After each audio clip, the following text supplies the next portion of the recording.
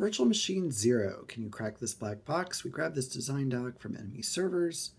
We know the rotation of the red axle is input, the rotation of the blue axle is output. The following input gives the flag.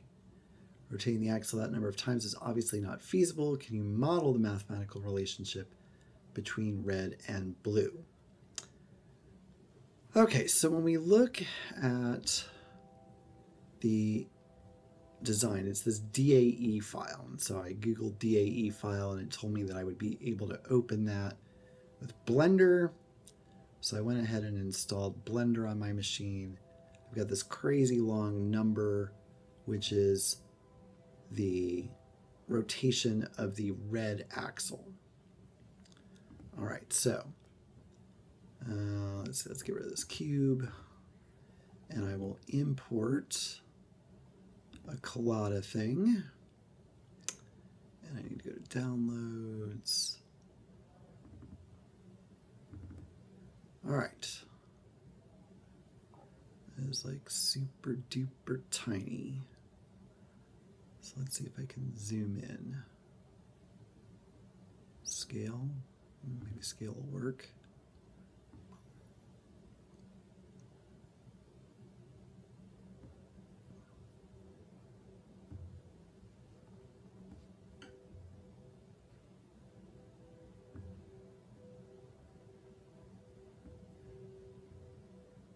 Right, well, it's getting bigger.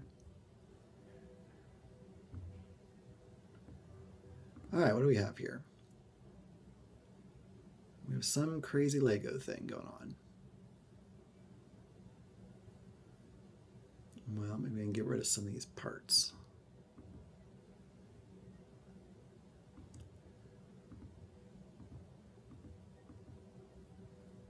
rotate it.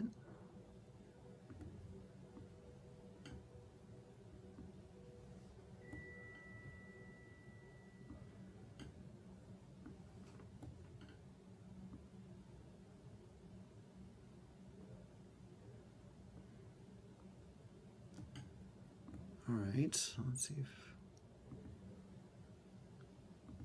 Oh, that part looked important. I got rid of the base. I guess I don't care about the base.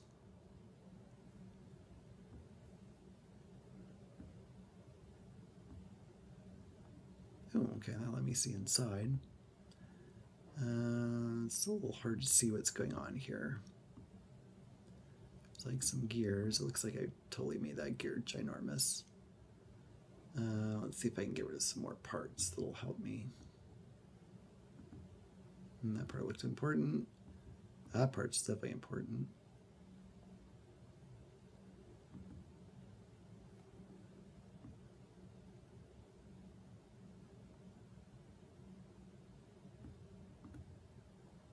If I can just move that part.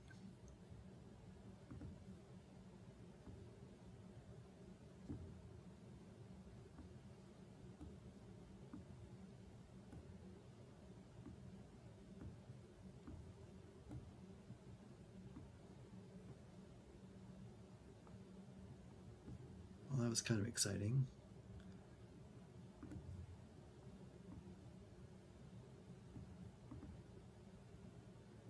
So I have a gear there. So I have a red gear.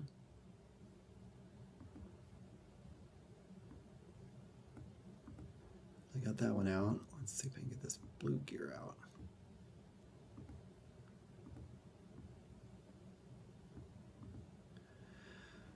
All right, so I have a red gear attached to a blue gear.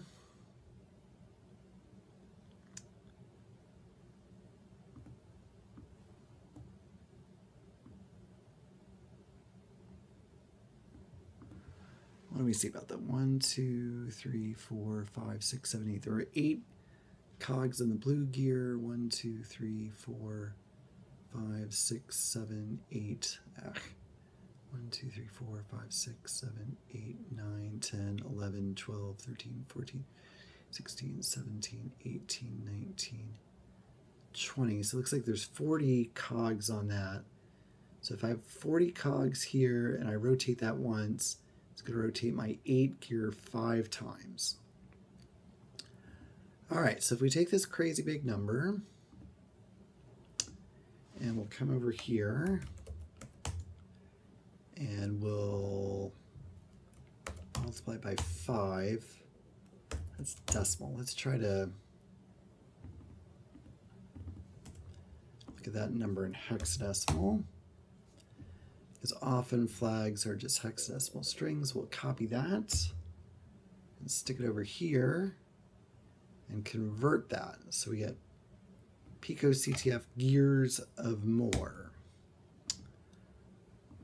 All right, so there you have it. Basically, we tore apart this model, found the gear ratio, and we're able to define what the output would be given the input.